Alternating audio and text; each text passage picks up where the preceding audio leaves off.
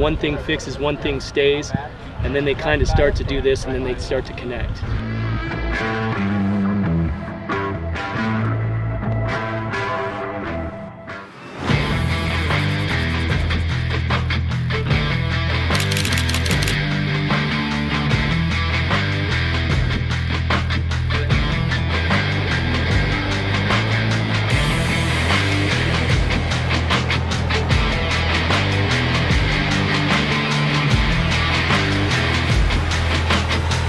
Morning session of day one of our uh, Southern Cal camp. So uh, thankfully weather is absolutely phenomenal. We've been uh, Phoenix, Houston, um, and it was just blazing hot. But uh, any rate, good day, good crew, um, good staff, cute little wife walking around.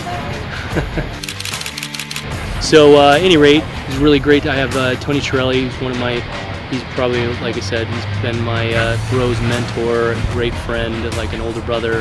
And uh, so having him out here helping is really awesome.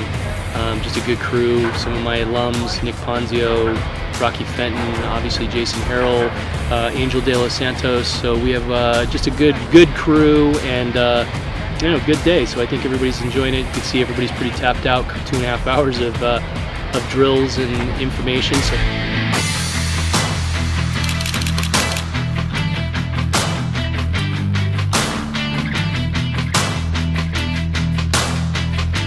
And what we're going to do is take the left arm long, see how I'm shifting and I'm on the inside of the foot, and see how the knees are apart.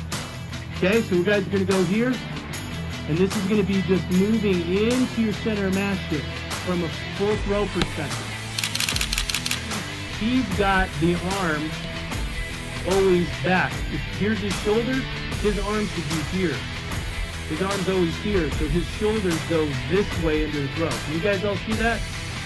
So I don't teach guys to rip their arm into the ring, but in his case, he's got to be more free to get this here to pull him this way.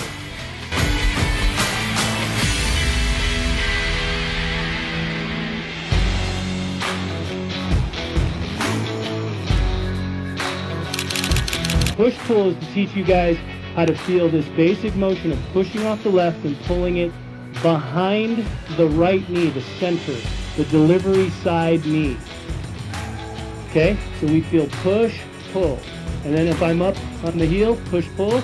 See how I created rotation? That's your alignment and the axis setup. It rotates automatically when you're in the right position. So the sweep step, watch, I'm sprint counter, inside of the thigh, widen around to here. Okay, so we're gonna go sprint counter, sweep step, push pull.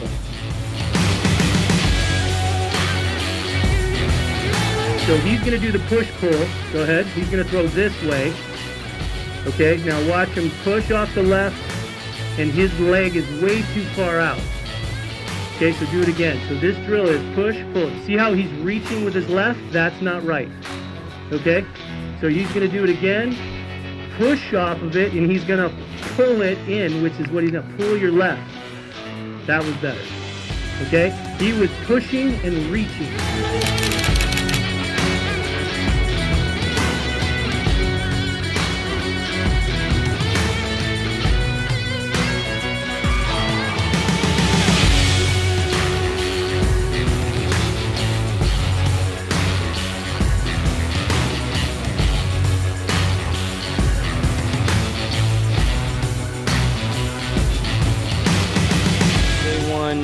Um, our Southern Cal camps in the books.